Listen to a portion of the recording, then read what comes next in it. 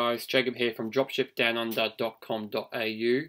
Today we're going to be going through how to get rid of the powered by Shopify at the bottom of your store on your web page. So without further ado, let's get straight into it. Just start here on the left hand side um, and what we'll do is just go all the way down to your online store. So I'll press this one here and then once this one loads, we're just going to wait for that go across just to your actions.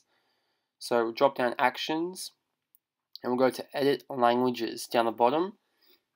So we'll edit this language.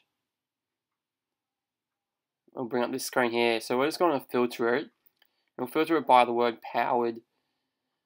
Um, that's what we're looking for pretty much. So once that one comes up, you'll see there it says powered by Shopify. All we're doing is entering one space. So just click your spacebar once and save it. So translation's updated, perfect. So what we'll do now is have a look at our website. Where it usually is down the bottom, um, down the bottom left on most themes, it won't be there anymore. So there's our little pre-made website. We'll go down the bottom, and there you go. I'll just get out of this little bit.